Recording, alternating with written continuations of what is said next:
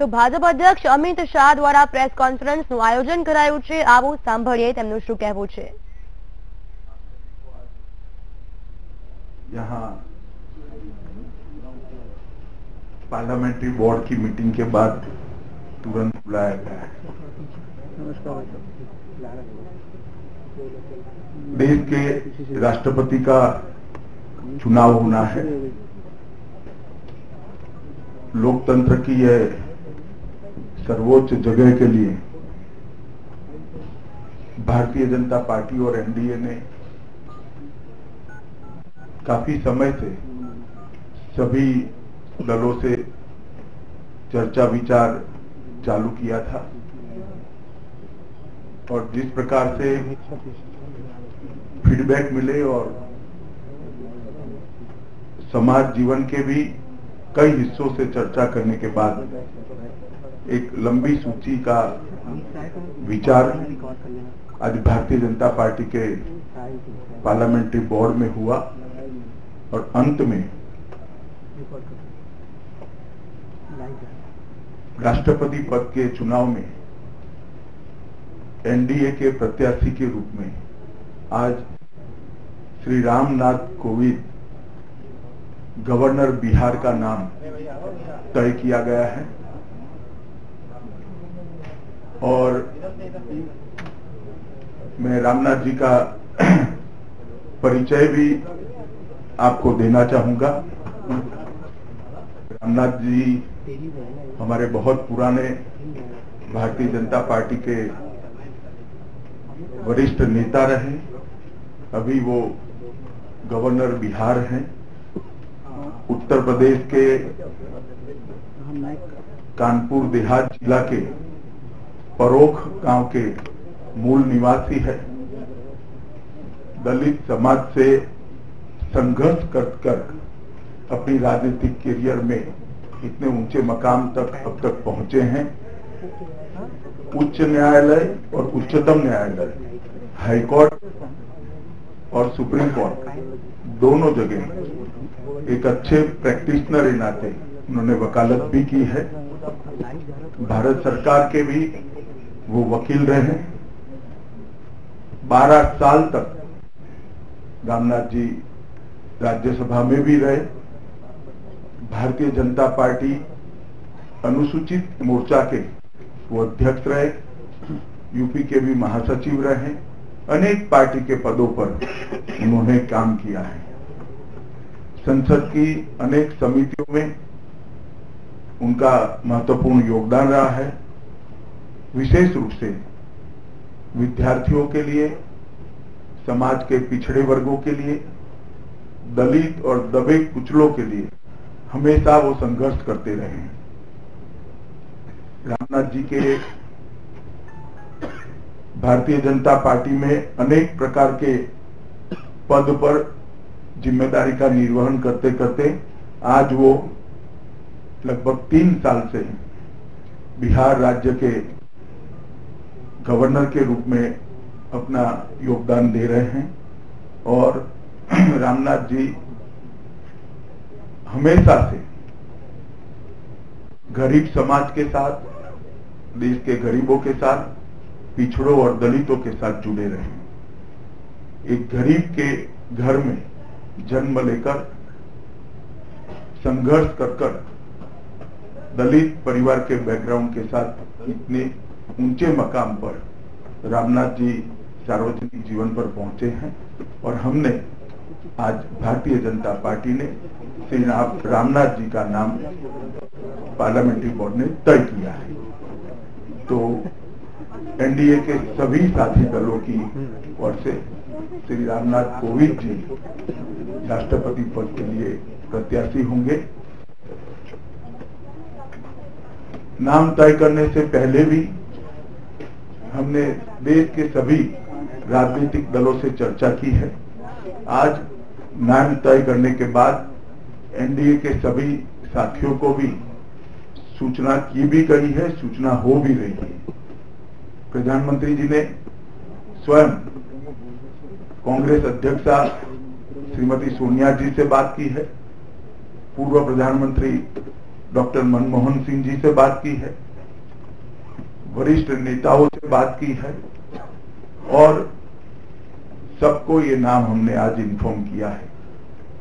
Bharatiya Janata party और NDA आशा करते हैं कि दलित समाज से संघर्ष कर कर, गरीब के घर में जन्म लेकर संघर्ष कर कर, सार्वजनिक जीवन में उतने ऊँचे मकाम पर पहुँचने वाले रामनाथ जी सर्वसहमत प्रत्याशी होंगे। इसलिए हम सब लोग आशा करते हैं।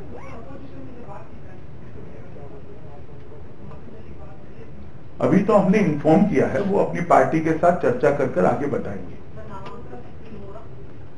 नामांकन की तिथि तिथि तो रामनाथ जी से चर्चा कर कर तय करेंगे, मगर बड़ी बड़ी जो अभी सोच बनी है, तेईस तारीख को नामांकन होने की संभावना है।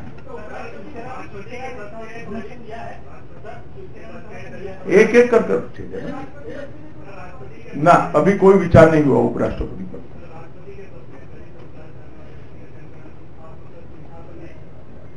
संदेश तो मैंने दे दिया जो देना है अब आप निकालते रहिए। अभी हमने इन्फॉर्म किया है। सुखे जी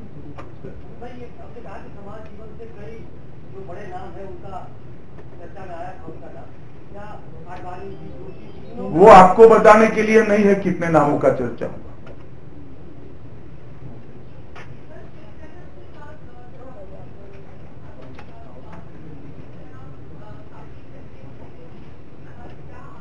नहीं, ऐसी बात नहीं हुई थी, उद्धव ठाकरे जी उन्होंने कहा था कि आप पहले नाम तय करके बताइए। आज उनको नाम बता दिया गया सभी से हमारे वरिष्ठ नेता संपर्क करेंगे। एक आध डेढ़ घंटे में सभी से चर्चा विचार हो जाएगी। हिमांशु जी।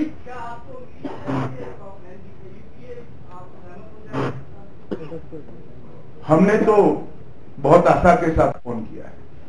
एनडीए में सहमति बन पाएगी सर? एनडीए में? एनडीए आपके अपने पार्टी के अंदर सहमति बन पाएगी जितने भी मुझे लगता है बाय एंड लार्ज सभी लोग सहमत हैं एक मिनट। ये आपको मैं बता नहीं सकता।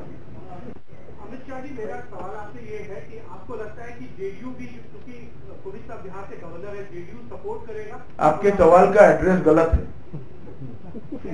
जेडीयू को पूछना चाहिए। आपने बात की नहीं मैं किसी और पार्टी के मत क्या करेंगे इस पर मत प्रकट करना नहीं चाहूँगा। बोलिए आप बोलिए। सोनिया गांधी जी का रेस्पॉन्स क्या नहीं उन्होंने बताया है कि हम पार्टी के और बाकी दलों के साथ चर्चा विचार कर कर बताएँगे। सबसे बात करने वाले। टीएमसी ने महिला के नाम पे कहा। किसी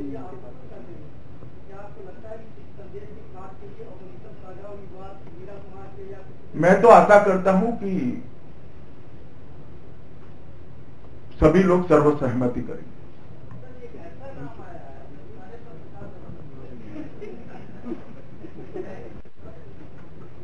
चलिए अब इसमें मैं क्या कह सकता हूँ?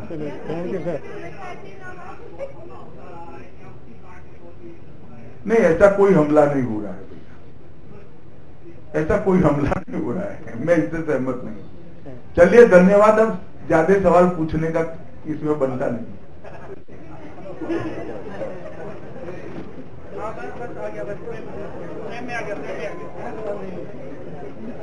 बीजेपी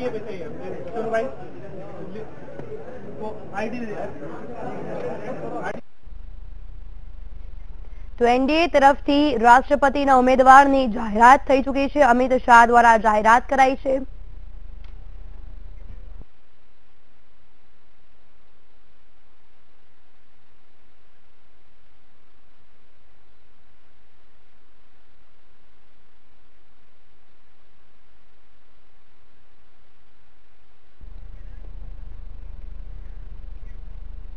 તો અમિત શાહ તરફથી જે રીતે જાહેરાત કરાઈ છે, રામનાથ કોવિંદની જાહેરાત કરાઈ છે, મહત્વનું છે કે બીજેપી દલિત મોરચાના પ્રમુખ પણ કોવિંદ રહી ચૂક્યા છે. હાલ બિહારના ગવર્નર હતા.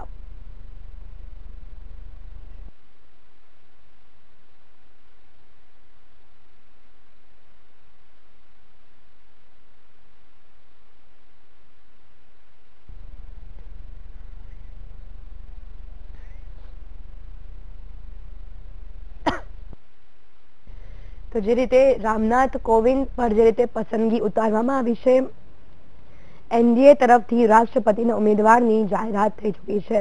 મહત્વનું છે જે રીતે રાષ્ટ્રપતિની ચૂંટણી આવનાર છે, તેને લઈને હવે ઉમેદવારની જાહેરાત એનડીએ તરફથી કરાઈ છે. હાલ અમિત શાહે જે રીતે જાહેરાત કરી છે આપણે જણાવી દઈએ કે રામનાથ કોવિંદની જાહેરાત કરી છે.